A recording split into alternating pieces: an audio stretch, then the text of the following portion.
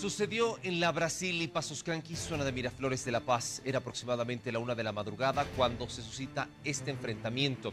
Estamos hablando de un muchacho que pierde la vida por esta mm, disputa entre pandillas que lastimosamente acaba en tragedia.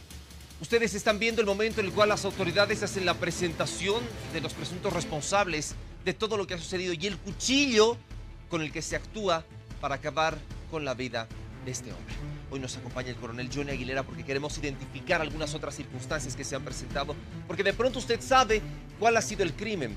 Pero más allá de todo eso, la policía continúa indagando. Coronel Aguilera, ¿cómo está? Bienvenido, gusto tenerlo acá en la revista El Día. Héctor, buenos días. Efectivamente, este es un suceso que se da protagonizado por dos jóvenes, ambos menores de edad, quienes, eh, de acuerdo a la primera vención, se encontraban circulando en la avenida Brasil con sentido hacia arriba. Y de acuerdo a la primera versión, insisto, se habrían acercado este grupo de ocho personas, asestando un puñal sin mayor razón a este grupo, generando la muerte de uno de ellos. Se dijo que hubo una disputa. Sí, y eso es importante destacar. Hoy podemos establecer a través del estudio de la criminología que efectivamente, por lo menos, hay dos versiones que son disímiles unas de otras, ambas vinculadas con el patrimonio, es decir, del ejercicio de la violencia, del ejercicio de la fuerza, con la intención de someter al otro para sustraerle sus bienes. Y esa es una cuestión muy típica en, en los delitos que se cometen entre los 14 y 18 años, delitos efectivamente generados a través de la agresión, a través del ejercicio del poder. Usted decía al, al, presentar la nota que se tratan de dos grupos. Bueno, hoy estamos en la posibilidad de afirmar que efectivamente el primer grupo, el grupo A, conformado por estas ocho personas, tenía un número mayor que estaba circulando en la zona de Miraflores. Y esto está afirmado a través de las imágenes de video que la policía ha logrado conseguir.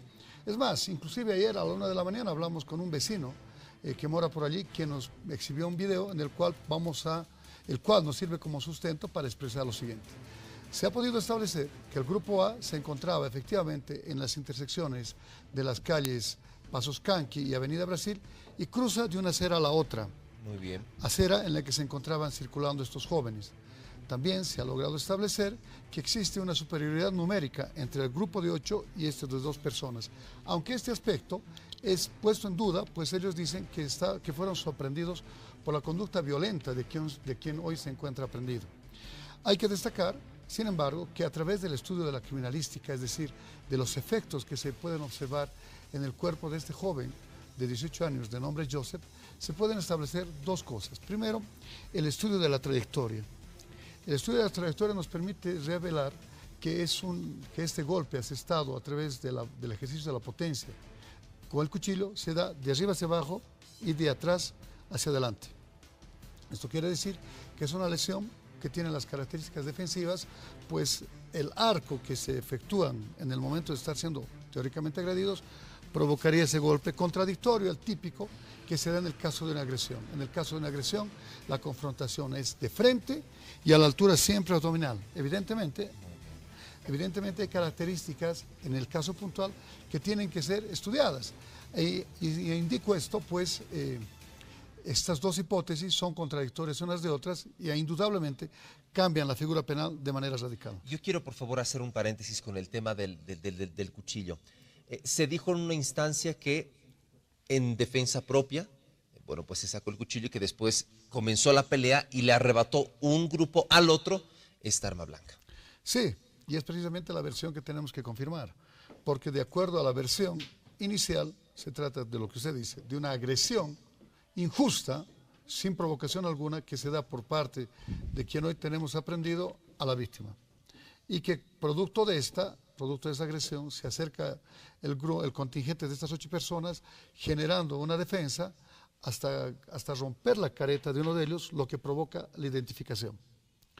La otra versión es que son interceptados, agredidos hasta generarles golpes innumerables con la intención de quitarles sus dispositivos móviles, sus dispositivos celulares. Y que en todo caso, esta, esta acción está provocada porque estos dos jóvenes ya no deberían estar andando disfrazados a la una de la mañana, eso es lo que dicen ellos, y que básicamente son interceptados reclamándoles, oye Feto, ¿por qué sigues disfrazado hasta ahorita? Y dame tu tubo. Es decir, es dame tu teléfono Tu celular. teléfono. ujú. Ahora, ustedes han logrado recopilar, me imagino, varias declaraciones, Sí. testimonios. Y dentro de todo esto se ha identificado de qué edad a qué edad estaban en estos grupos. Sí, bueno, Primero, tenemos que establecer que la edad básica de la delincuencia juvenil es de partir a los 14 a los 18 años. Y aquí estamos en la condición de afirmar, en el caso de los autores, que se tratan de dos jóvenes que tienen 17 años. Y en el caso de la víctima, el grupo que estaba, yo diría, acompañando a ella, tiene entre 18 y 22 años, porque la dama que formaba parte de este grupo que hemos denominado A, tenía 22 años, una de las acompañantes. Y aquí un criminólogo me, yo le consulto y le digo si es posible que se efectúen acciones de orden violento frente o en compañía de una mujer. Él me dice que en todo caso esto es una especie de catalizador que energiza la acción violenta del hombre con la intención de demostrar su virilidad. Estos aspectos indudablemente tienen que ser, eh, yo diría, tratados en las siguientes horas y quiero aprovechar en todo caso, Héctor, para mandar un agradecimiento al fiscal departamental que de manera inmediata dispuso la conformación de un equipo de fiscales que ha estado liderando estas, estas, estas indagaciones. Estoy seguro que con las actividades posteriores, que serán fundamentalmente la reconstrucción, un desfile identificativo y otras, vamos a poder establecer las circunstancias que han motivado el hecho. Porque desde el punto de vista policial, los autores de la muerte están plenamente identificados, no solamente desde el punto de vista formal, sino desde el punto de vista material, pues hemos logrado encontrar la ropa con la que estaban vestidos, luego la admisión que hace referencia a la muerte y además un correo de WhatsApp, un, mensaje de WhatsApp donde se establece una conversación que hacen aparecer esta conducta como una conducta casual y no, no buscada, no provocada. Ahora, muchas personas, y usted me acaba de referir sobre cierto tipo de conductas, actitudes que llegan a tener estos grupos dentro de la criminología. ¿Cómo se tipifica esto? ¿Cómo se lo va calificando? Bien, la criminología ha efectuado el estudio de estas delincuencias y establece que básicamente estos, estos hechos suceden por ignorancia de lo correcto y de lo incorrecto. Es decir, aquella incapacidad de establecer si una conducta es idónea, si una conducta es legal o no es legal. Es decir, en ese mundo, primero, sometidos al influjo del alcohol y en algún caso de drogas, no podemos establecer si nuestra conducta es adecuadamente, adecuadamente vista o por el contrario es una conducta delictiva en sí misma. Otras conductas que motivan este tipo de acciones son las frustraciones. Frustraciones en el ámbito sentimental, en el ámbito académico.